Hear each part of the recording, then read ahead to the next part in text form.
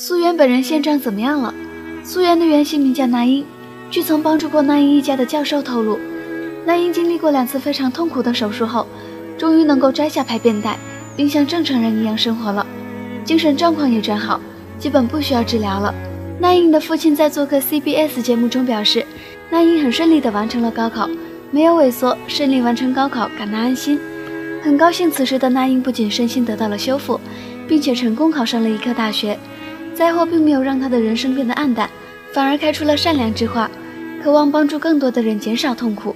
与此同时，那英的父亲也强调表示，他希望能对2020年即将出狱的赵斗淳采取相关对策。是的，溯源里面那个凶手赵斗淳将会在今年年底十二月出狱。得到这个消息后，韩国民众三十八万人请愿，反对赵斗淳出狱。但都阻止不了他出狱的脚步。幸好媒体公布了他的容貌，请社会记住这个罪人，以及他的名字赵斗淳。韩国电影《素媛》二零一三年十月在韩国上映。该片根据两个案件改编而来，主要讲述了一名年幼少女在遭遇性侵后，如何走出心理阴影，如何面对生活的故事。素媛跟普通女孩子一样，喜欢扎漂亮的辫子，喜欢粉色。一天下着雨，素媛跟小伙伴闹了矛盾，只能自己去上学了。妈妈想送送她，她却说算了，就算跑过去也就两百秒。而就在这两百秒，就发生了他人生的悲剧。他遇到了一个浑身酒气、长相猥琐的大叔。大叔问：“能让叔叔撑你的伞吗？”苏媛看着大叔浑身湿透了，于是善良地分给他一半的雨伞。于是苏媛就这样被侵犯了。仅有一点意识的苏媛自己报了警。送去医院的苏媛血肉模糊，肠道几乎没有一处完整的地方，子宫受损。有可能终身无生育能力。抢救回来的素媛失去了自主排便的能力，只能在身上安装了人工便袋。她对此非常的介意，总害怕身上会臭臭的，怕别人发现她的秘密。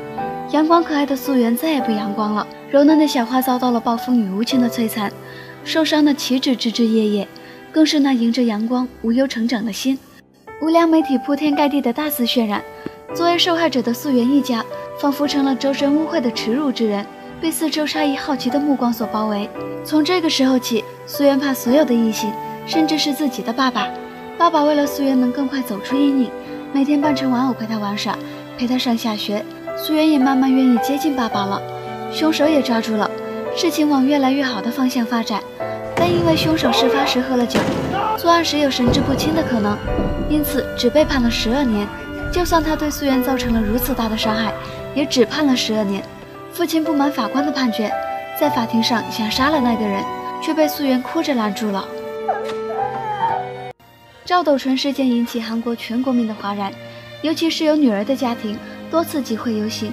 韩国国会为此提高了对儿童性侵犯犯罪的量刑标准。二零一二年，韩国推出化学阉割，成为亚洲第一个对儿童性侵犯者进行阉割的国家。韩国电影除了素媛，还有熔炉。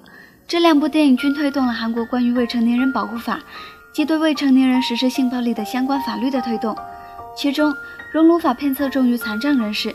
韩国的电影就是这方面特别厉害，不仅敢说敢拍，还能电影救国，对揭露社会阴暗面做出了重大的贡献。